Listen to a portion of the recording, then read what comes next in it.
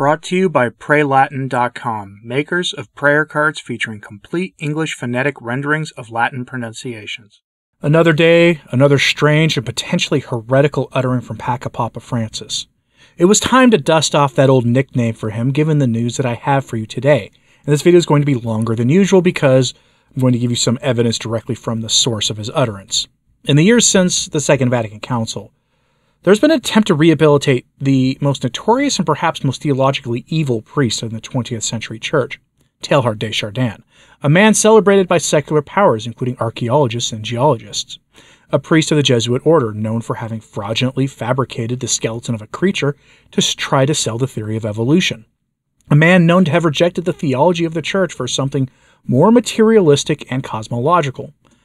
Chardin's influence was widespread in the church after the council, with Ratzinger and a few others considered by today's standards to be orthodox and conservative, saying that Chardin was misunderstood and misrepresented. Though later, as Benedict XVI, Ratzinger would definitely backtrack on that and would say that Chardin's writings should be read in light of the church's traditions, which is basically saying that Chardin can only be read in light of the hermeneutic of continuity. It would have been better to just say no to Chardin's writings, but that was an extremely unpopular position to take, even when Benedict was Pope. In the years before the Council, Chardin's writings were declared dangerous by the Holy Office, and Catholics were generally forbidden from them. We were warned to steer clear of the writings of Teilhard de Chardin.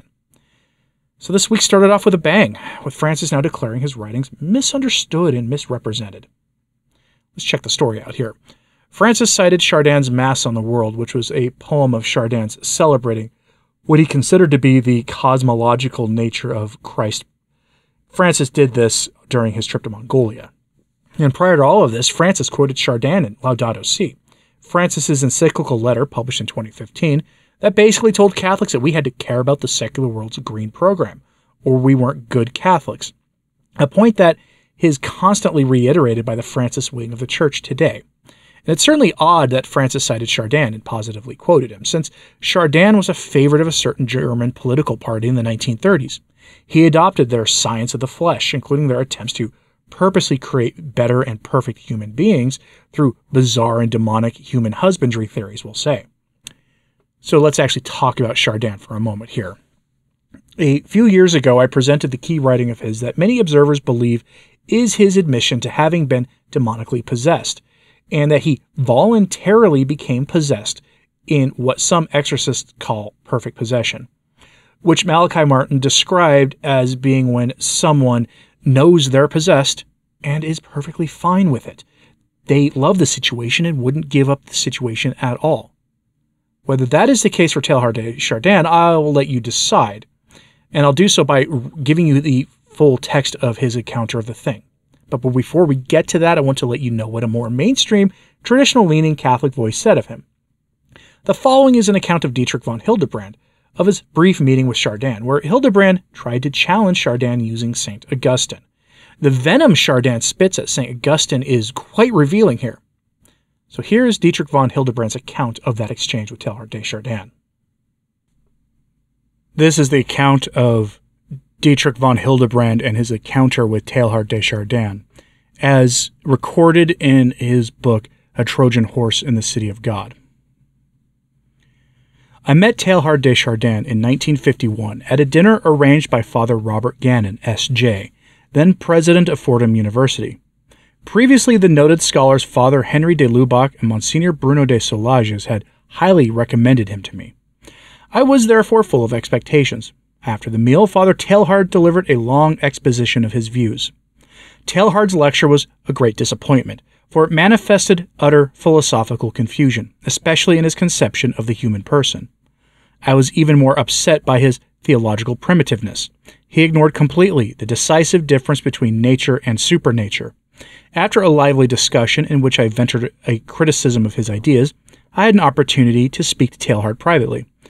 When our talk touched on St. Augustine, he exclaimed violently, Don't mention that unfortunate man. He spoiled everything by introducing the supernatural. This remark confirmed the impression I had gained of the crass naturalism of his views, But it also struck me in another way. The criticism of St. Augustine, the greatest of the fathers of the church, betrayed Teilhard's lack of genuine sense of the supernatural. Note that Chardin hated St. Augustine and how he introduced a supernatural aspect to the faith. But of course, that's nonsense in and of itself. The faith, is, faith has always acknowledged the preternatural and the supernatural. Those were not fabrications of St. Augustine. He didn't introduce that to the faith. The doctor of the church focused on them, and his theology was essential in the development of Catholic theology. But to say he introduced the supernatural, as Chardin says, is beyond nonsensical. But that is what we expect from the man whose theology is now synonymous with natural materialism. He had been credibly accused of denying original sin due to his love of evolution, and having been a pantheist due to his anthropological work in Southeast Asia and other places. Now, it's worth noting that few are willing to touch the strangest thing Chardin ever encountered, what he called the Thing, which is his encounter with likely a preternatural intelligence, his dialogue with it, and what looks like his submission to the preternatural intelligence. His account of this is long, it's written from the third person, and it almost reads like fiction, but it's not. The preternatural, by the way, is simply another word for the demonic, just to make sure you understand that. So here is his own account of the thing. And the following is the writings of the of Teilhard de Chardin himself. This comes from his work, The Hymn of the Universe. And while this is written in the third person, this is widely believed to have been a confessional. The man was walking in the desert, followed by his companion, when the thing swooped down on him. From afar, a head appeared to him, quite small, gliding over the sand, no bigger than the palm of a child's hand, as a pale, fleeting shadow, like a wavering flight of quail over the blue sea before the sunrise, or a cloud of gnats dancing in the sun at evening, or a whirlwind of dust at midday sweeping over the plain. The thing seemed to take no heed of the two travelers, and was roaming capriciously through the wilderness.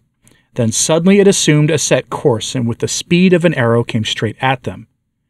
And then the man perceived that the little pale cloud of vapor was but the center of an infinitely greater reality, moving towards them without restriction, formless, boundless.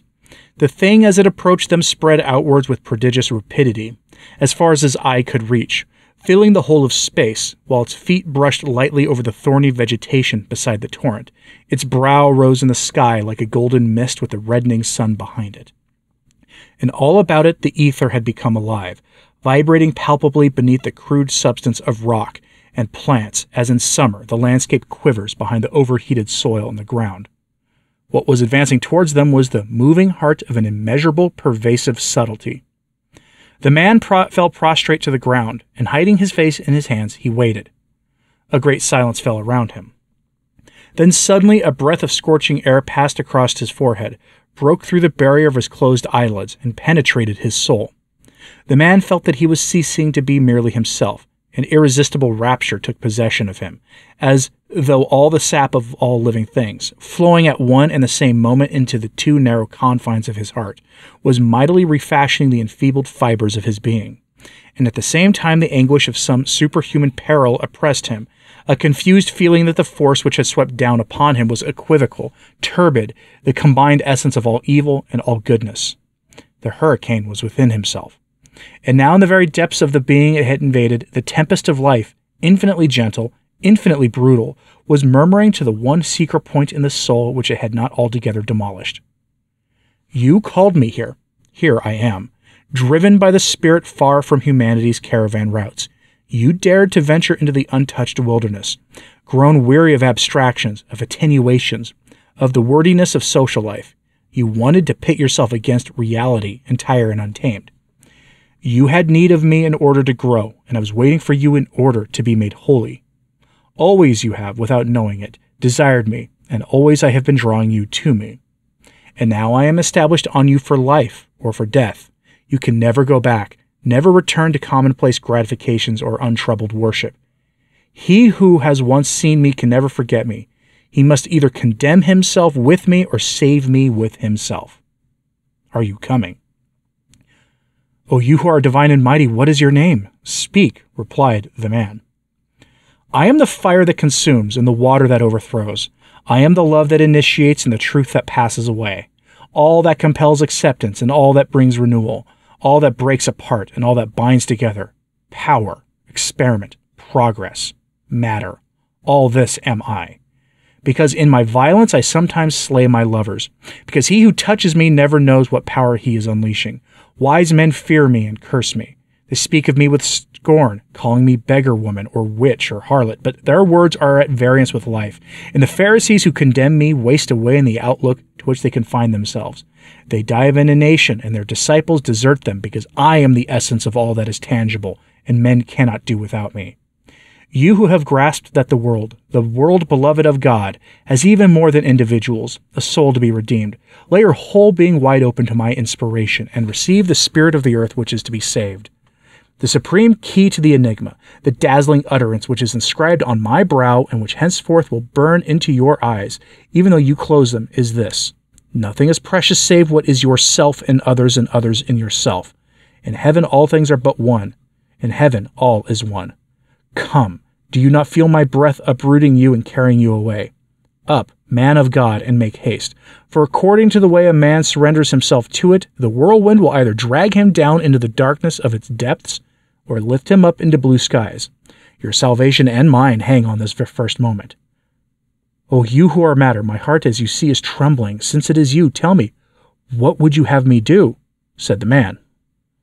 Take up your arms, O Israel, and do battle boldly against me.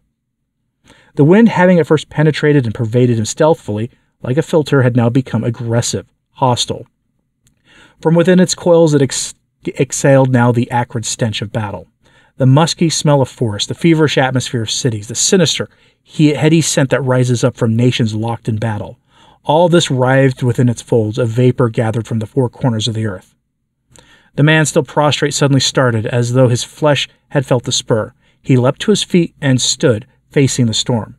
It was the storm of his entire race that had shuddered with him, an obscure memory of a first sudden awakening in the midst of beasts stronger, better armed than he, a sad echo of the long struggle to tame the corn and to master the fire, a rancorous dread of the maleficent forces of nature, a lust for knowledge and possession. A moment ago, in the sweetness of the first contact, he had instinctively longed to lose himself in the wind, warm wind which enfolded him.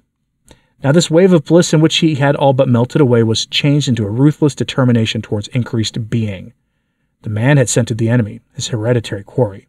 He dug his feet into the ground and began his battle. He fought first of all in order to not be swept away, but then he began to fight for the joy of fighting, the joy of feeling his own strength. The longer he fought, the more he felt an increase of strength going out from him to balance the strength of his tempest. And from the tempest there came forth in return a new exhalation, which flowed like fire into his veins.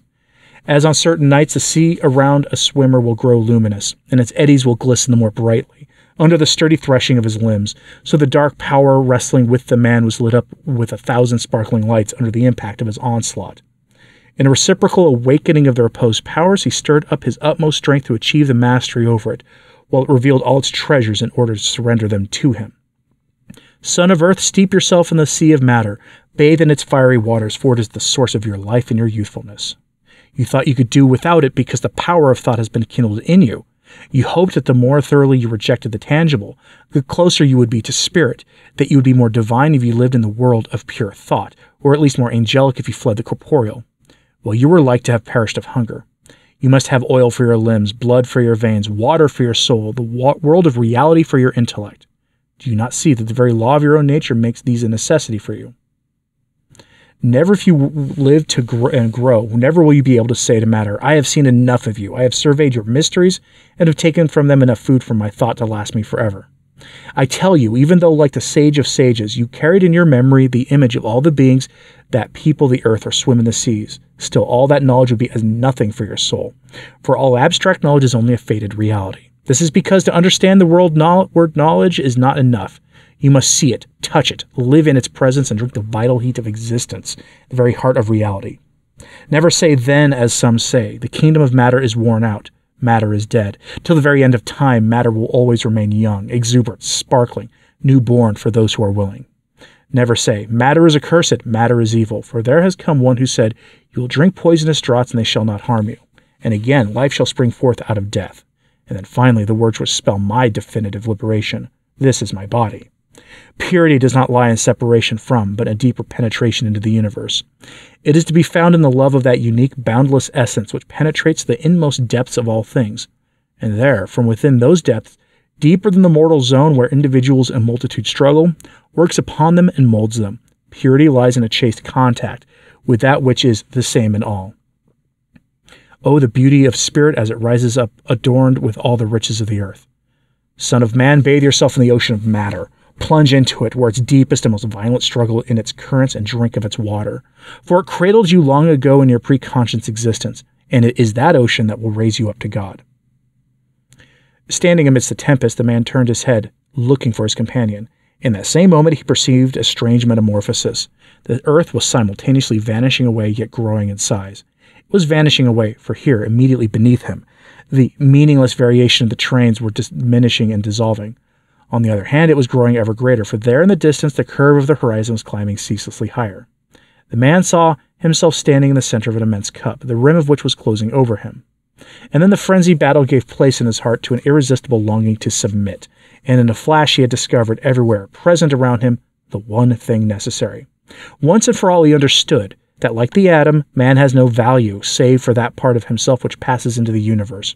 He recognized with absolute certainty the empty fragility of even the noblest theorizings as compared with the definitive plenitude of the smallest fact grasped in its total concrete reality. He saw before his eyes, revealed with pitiless clarity, the ridiculous pretentiousness of human claims to order the life of the world, to pose on the world the dogmas, the standards, the conventions of man. He tasted sickeningly the triteness of men's joys and sorrows, the mean egoism of their pursuits, the insipidity of their passions, the attenuation of their power to feel.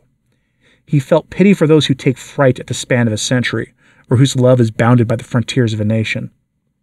So many things which once had distressed or revolted him, the speeches and pronouncements of the learned, their assertions and their prohibitions, the refusal to allow the universe to move, all seemed to him now merely ridiculous, non existent, compared with the majestic reality, the flood of energy which now revealed itself to him, omnipresent, unalterable in its truth, relentless in its development, untouchable in its serenity, maternal and unfailing in its protectiveness. Thus, at long last, he had found a point d'appui. He had found refuge outside the confines of human society. A heavy cloak slipped from his shoulders and fell to the ground behind him, the dead weight of all that is false, narrow, tyrannical, all that is artificially contrived, all that is merely human in humanity. A wave of triumph freed his soul, and he felt that henceforth nothing in the world would ever be able to alienate his heart from the greater reality which was now revealing itself to him, nothing at all. Neither the intrusiveness and the individualistic separatism of human beings, for these qualities in them he despised, nor the heavens and the earth and their height and the breadth of power and depth, for it was precisely to these that he was now dedicating himself forever. A deep process of renewal had taken place within him. Now it would never again be possible for him to be human save on another plane. Were he to descend again now to the everyday life of earth, even though if he were to rejoin his faithful companion, still prostrate over there on the desert sand, he would henceforth be forever a stranger. Yes, of this he was certain, even for his brothers in God, better men than he, he would inevitably speak henceforth in an incomprehensible tongue. He whom the Lord had drawn to follow the road of fire. Even for those he loved the most, his life would be henceforth a burden, where they would sense his compulsion to be forever seeking something behind themselves. Because matter, throwing off its veil of restless movement and multiplicity, had revealed to him its glorious unity. Chaos now divided him from other men because it had ever withdrawn his heart from all that is merely local or individual, all that is fragmentary. Henceforth, for him, it alone in its totality would be his father and mother, his family, his race, his unique consuming passion. Not a soul in the world could do anything to change this. Turning his eyes resolutely away from what was receding from him, he surrendered himself in superabounding faith to the wind that was sweeping the universe onwards. And now in the heart of the whirling cloud, a light was growing, a light in which there was the tenderness and mobility of a human glance. And from it there spread a warmth which was not now like the harsh heat radiating from a furnace, but like the opulent warmth, warmth which emanates from a human body. What had been a blind and feral immensity was now becoming expressive and personal, and its hitherto amorphous expanses were being molded into features of an ineffable face. A being was taking form in the totality of space, a being with the attractive power of a soul, palpable like a body, vast as the sky, a being which mingled with things yet remained distinctive from them, a being of higher order than the substance of things with which it was adorned, yet taking shape with them. The rising sun was being born into the heart of the world. God was shining forth from the summit of that world of matter, whose waves were carrying up to him the world of spirit. The man fell to his knees in the fiery chariot which was bearing him away. That, my friends, is the man Francis says is misunderstood. A man who fabricated a skeleton to promote evolution.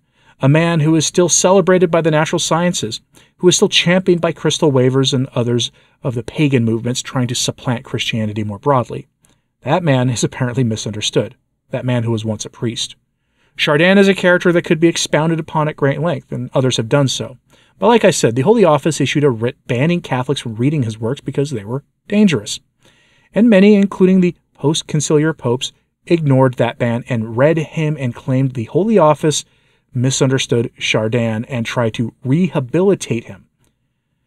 Perhaps the thing is amused by all of that even now, a century after the fact. Happened, by the way, in 1919. What do you think about all this? Are you surprised by that account? Are you surprised that Francis is celebrating him? Are you surprised that the post conciliar popes before him tried to rehabilitate him as well? I'm not that surprised if you read what the th- the writings of the popes and their general way of approaching the supernatural aspects of the faith. You see a more shift towards materialist after World War II, especially after the council all the popes of the council, uh, post conciliar years were guilty of this to some degree. So it's not that surprising that they would kind of grab onto Chardin. But Chardin's view of things is so out there that it doesn't, it's not compatible with Catholicism in the slightest. And his encounter with the thing really does sound like an admission of possession and that he himself knew that was the case, but he felt compelled to write it anyway, so he did it in the third person. Let me know what you thought of this in the comments, please. Hit like and subscribe if you haven't. It does help. So does sharing this on social media. That helps too. As always, pray for the church. I'm Anthony Stine. Ave Maria.